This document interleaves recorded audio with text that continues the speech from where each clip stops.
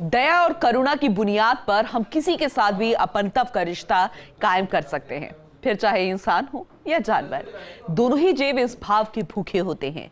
जब इसी भाव से इंसान और जानवर का मेल मिलाप होता है तो नज़ारा बेहद सुकून भरा हो जाता है। इसी सुकून की तलाश के लिए बीकानेर के नोखा में विश्नोई समाज की आस्था के सबसे बड़े स्थल मुकाम धाम पर वन्य जीव रेस्क्यू सेंटर बनाया गया। लेकिन जिम्मेदारों की लापरवाही ने इंसान और जानवर के सुकून को छीन लिया है। ये रिपोर्ट देखिए। राजस्थान में बिश्नोई समाज जीव प्रेम के लिए देश दुनिया में विख्यात है। वन्य जीव प्रेमी बिश्नोई समाज ने खुद अपने खर्चे पर वन्य जीवों की रक्षा के लिए विभाग के साथ नोखा में एक वन्य जीव रेस्क्यू सेंटर तैयार करवाया। रेस्क्यू सेंटर बनाकर बिश्नोई समाज ने वन विभाग को सौंप दिया। करीब 10 बीघा में वन्य जीवों की देखभाल और राहत देने के इरादे से बनाया गया ये रेस्क्यू सेंटर आफत बनकर विवादों में आ गया। यहाँ जिम्मेदारों की लापरवाही वन्य जीवों की जान पर बनाई। सेंटर में रेस्क्यू के लिए लाए गए जीवों की मौत होने पर आठ कार्मिकों को एपीओ कर दिया गया है।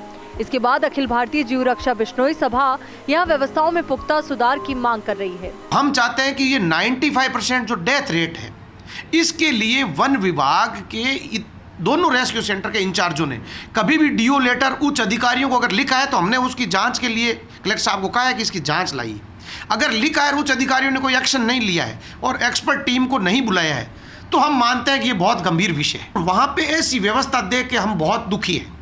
हमने दस वन कर्मियों को सस्पेंड जो किया है एपीओ इससे हमें संतुष्टि नहीं है। हमें संतुष्टि इस बात से है कि इनकी जो मृत्यु दर है, उसको कैसे घटाया जाए। अखिल भारतीय जीव रक्षा विश्नोई सभा का दावा है कि वन्य जीव रेस्क्यू सेंटर में पिछले नौ महीने में तेरह सौ वन्य जीवों को रेस्क्यू के लिए लाया गया है। जिनमें से करीब 100 वन्य जीव ही सेंटर में बचे हैं। वहीं चार सौ बानवे वन्य जीवों की पंचनामा रिपोर्ट मौजूद है। लेकिन बाकी 700 के करीब वन्य जीव कहाँ चले गए? यही सवाल रेस्क्यू सेंटर को संदेह के घेरे में खड़ा करता है। आइए पिछले नौ महीने में सेंटर पर लाए गए वन्य जीवों पर एक नज़र डालते हैं। चिंकारा बत्तीस। मोर 116, नीलगाय 105, उल्लू चार। कबूतर आठ। बगुला एक। कोयल एक।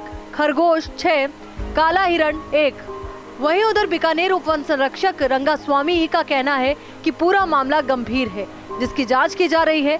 इसको लेकर उन्होंने खुद भी मौका मुआयना किया। रंगा स्वामी वन्य जीवों की मृत्यु दर ज़्यादा होने पर चिंतित है।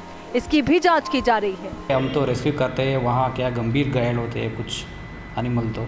उसको तो हम लेके आते हैं, लेके आके यहाँ ट्रीटमेंट देते हैं। समटाइम ये शाक से मर जाते हैं, और किससे कारण से मर जाते हैं। इसलिए तो गंभीर स्वरूप का होते हैं ना, उसी हिसाब से ये मर जाते हैं। अदरवाइज़ हम कितना हम कोशिश, हम बहुत कोशिश करते हैं इसको बचाने के लिए। वैसे हम कुछ एनिमल भी बच जाते हैं वैसे। बीकानेर में वन्य जीवों के लिए दो रेस्क्यू सेंटर बनाए गए हैं।